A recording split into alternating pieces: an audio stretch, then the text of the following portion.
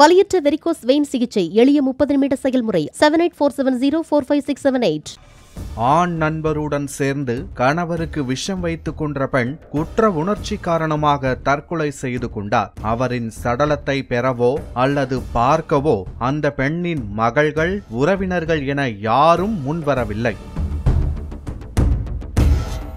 சென்னை திருவல்லிக்கேணியில் பார்த்தசாரதி கோவிலின் தெப்பக்குளத்தில் சுமார் நாற்பத்தி ஐந்து வயது மதிக்கத்தக்க பெண்ணின் சடலம் மிதந்து கொண்டிருப்பதாக ஐஸ் ஹவுஸ் காவல்துறையினருக்கு தகவல் கிடைத்தது. விசாரணையில் சூளைமேடு பகுதியில் கொலை வழக்கில் ஒன்றில் கைதாகி சிறையில் இருந்து வெளியே வந்த பெண் என்பது தெரிய வந்தது சென்னை சூளைமேடு கண்ணகி தெருவில் வசித்து வந்தவர் செல்வம். இவர் பெயிண்டிங் வேலை செய்து வந்தார். இவரது மனைவிதான் இறந்து போன விஜயலட்சுமி என்பதும் இவர்களுக்கு இரண்டு மகள்கள் உள்ளதும் தெரிய வந்துள்ளது. இந்த விஜயலட்சுமி தன் ஆண் நண்பர் மோகன் என்பவருடன் சேர்ந்து கணவர் செல்வத்துக்கு சாப்பாட்டில் விஷம் வைத்துக் கொண்டுள்ளார்.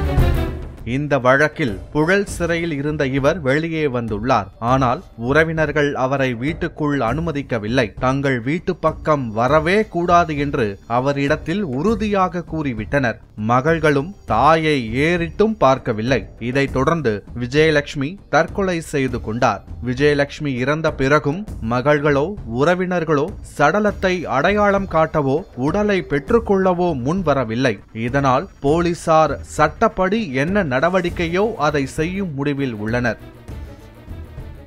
வலியற்ற வெரிகோஸ் வெயின் சிகிச்சை எளிய முப்பது நிமிட செயல்முறை seven eight four seven zero four five six seven eight